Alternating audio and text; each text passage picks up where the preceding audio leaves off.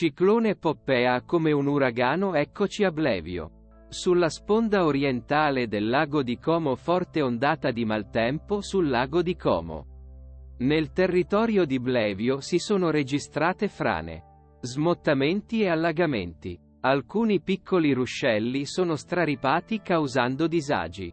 Aggiornamento 1223 Situazione molto delicata in Valtellina dove le forti piogge e i forti temporali stanno provocando l'ingrossamento di molti torrenti e si registrano già alcuni disagi.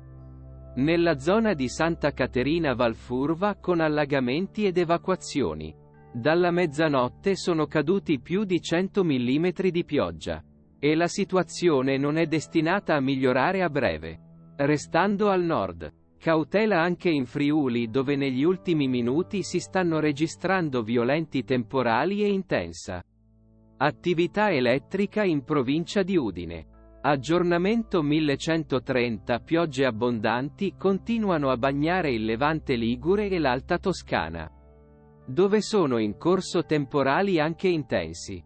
In Lombardia si registrano temporali molto forti Varesotto nel Comasco e Milanese oltre che in provincia di Sondrio. Aggiornamento 1 La neve di fine agosto sta cadendo in Piemonte fino a quote decisamente interessanti. Tutto bianco 2000 metri sestrieri in provincia di Torino. Con temperature intorno allo 0 gradi Celsius. Ma si intravedono fiocchi di neve anche quote più basse. Fino circa 1800 metri. Sono riprese forti piogge su alcuni tratti della Liguria. Soprattutto sul settore orientale dove si segnalano anche temporali. Situazione in queste ore la parte più attiva del maltempo si sta spostando verso nord-est anche se sul versante occidentale del nord.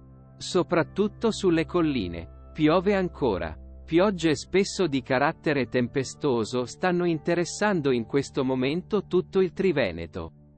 Tempo instabile anche su alcuni tratti del centro. Soprattutto tra Marche, Umbria e Abruzzo. Si segnalano piogge anche nella zona centro-settentrionale della Sardegna. Piovaschi in Liguria dove in queste ore le precipitazioni stanno fortunatamente dando tregua. Poco da dire. Invece, le regioni meridionali e per la Sicilia dove il tempo è ancora sereno. Fatta eccezione una leggera perturbazione in Campania. Evoluzione Cosa accadrà quindi nelle prossime ore? Il quadro meteorologico continuerà a restare pesantemente compromesso al nord e con il passare delle ore lo diventerà anche su tutto il settore tirrenico. Dalla Toscana al Lazio fino alla Campania e alla Calabria. Attenzione soprattutto alle regioni settentrionali dove nel corso della giornata le precipitazioni potranno assumere nuovamente una forte intensità. Come mostra la mappa qui sotto.